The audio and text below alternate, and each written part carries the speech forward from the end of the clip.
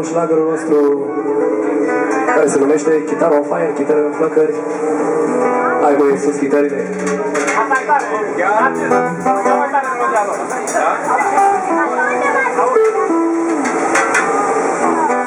Thank you.